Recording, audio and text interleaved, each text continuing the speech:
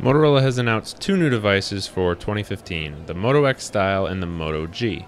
Let's start with the Moto X Style, or Moto X Pure. Motorola changed the name a bit, but this is the follow up to the Moto X 2014. The design and shape of the phone has gone relatively unchanged, with a slightly different look for the camera and dimple on the back. Of course, you can still choose from a variety of colors and materials in Moto Maker, such as this great dimpled leather or wood. The standard soft touch backs have a nice new texture that feels great in the hand as well. In terms of specs, we're looking at a 5.7 inch quad HD display with very minimal bezels on the sides.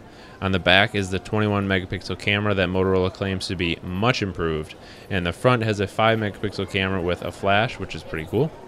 You can still do the wrist gesture to quickly launch the camera, or shake again to take a selfie.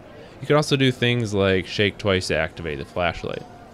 Also much improved should be battery life with a 3000 mAh battery.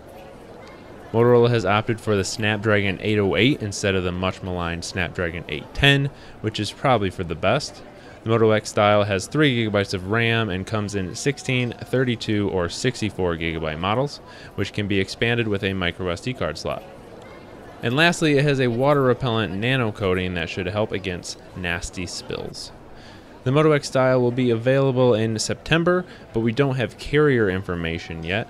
The Pure Edition will be available for $399, unlocked in the US from Motorola's website.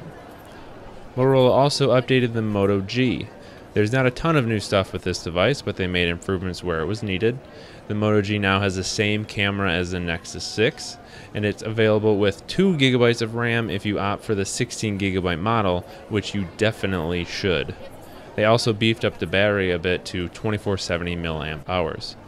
The Moto G can be customized in Moto Maker with a ton of new colors now, just like the Moto X. You really can't get a better phone for the price. It's available right now on Motorola's website. The 8GB model is $179 and the 16GB model is $219.